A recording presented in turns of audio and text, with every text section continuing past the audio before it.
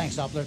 And now to extra perspective on one of the inductees to the El Paso Athletic Hall of Fame. Due to COVID 19, the induction ceremony for the class of 2020 had to be postponed. Next month, the class will finally be honored. Included in that class is someone that I actually had to see, had the opportunity to wrestle. Pro wrestler Gory Guerrero. ABC7 sports director Adrian Ochoa takes a look back at the life of Gory Guerrero and why the road to the Hall of Fame was anything but smooth.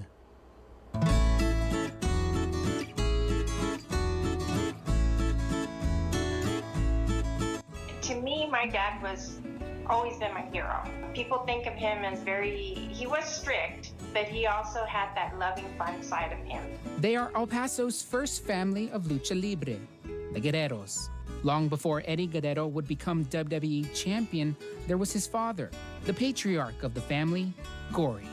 Gory was to the world of professional wrestling what Henry Ford was to the automobile industry. He was a pioneer.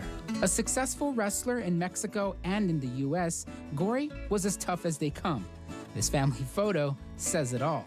Gory won numerous championships throughout his wrestling career, a career that began in the late 1930s all the way up until his retirement in the early 80s. Later, he promoted wrestling events in both El Paso and Juarez. However, his daughter Linda remembers her father's generous heart, helping borderland charities. He was a giver, he was not a taker, always giving and trying to figure out how to give. He also gave his knowledge of wrestling as a trainer. His four sons would follow in his footsteps and have successful careers of their own. Hector Rincon was one of Gory's students. He trained alongside Gory's youngest son, Eddie. Uh, he would correct you when you were when you did something wrong, but when you did something right, he wasn't going to give you a compliment. It was just, make okay, so you did it. Move on to the next thing.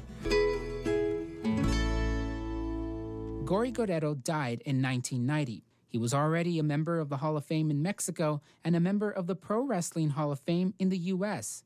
Getting into the El Paso Athletic Hall of Fame, however, was difficult. A pro wrestler had never been included. Sports talk radio host Steve Kaplowitz kept submitting Gory's name for induction. Kaplowitz nominated him five times before he was finally elected.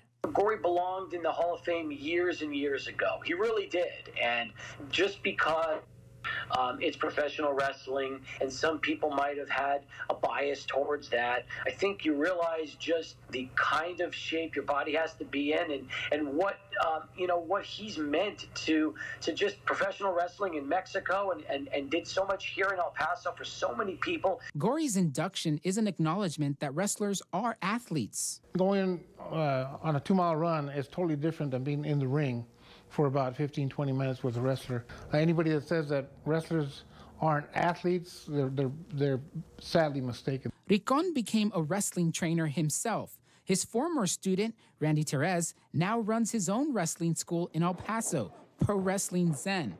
The moves taught here go back to the legend himself it, uh, it all the knowledge kind of always passes by and i want to try to use that you know so using those maneuvers it's a great way to say thank you to who have, have paved the way you know? And in pro wrestling today gory guerrero's name still lives on. He's got two wrestling moves named after him. We got the gory special.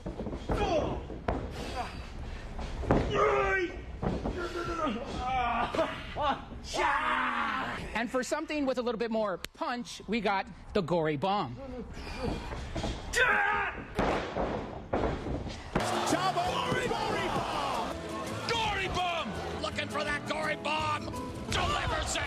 A borderland legend finally where he belongs.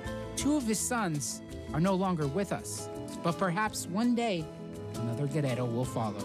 And I hope it does open the door for not just Eddie, but for my brothers, my other three brothers, and, and my nephew. Adrian Ochoa, ABC 7.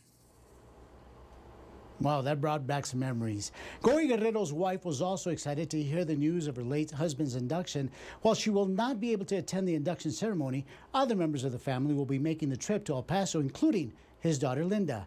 The ceremony is scheduled for June 30th, and I think, Eric, you and I should try the gory bump. Uh, I was thinking, you know, when you see, you hear a gory special, you think uh, maybe like a good entree at a restaurant or something. no. That's not a gory special that I want to try. That, that looked painful. it's great to see the legacy lives on both in the sport itself and also beyond. Absolutely.